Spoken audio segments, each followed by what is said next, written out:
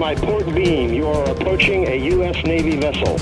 There is a Navy vessel protection zone in force around this vessel. You are advised to operate at the minimum safe speed and to maintain a safe course.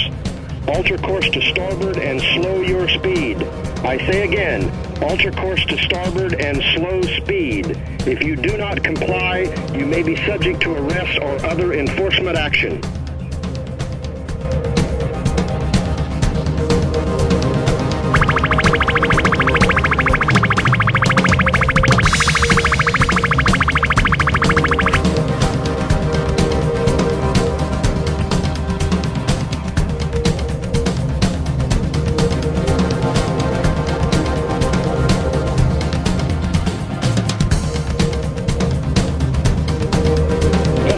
My port beam, you are approaching a U.S. Navy vessel.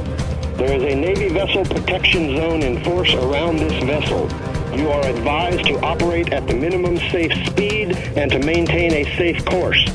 Alter course to starboard and slow your speed. I say again, alter course to starboard and slow speed. If you do not comply, you may be subject to arrest or other enforcement action.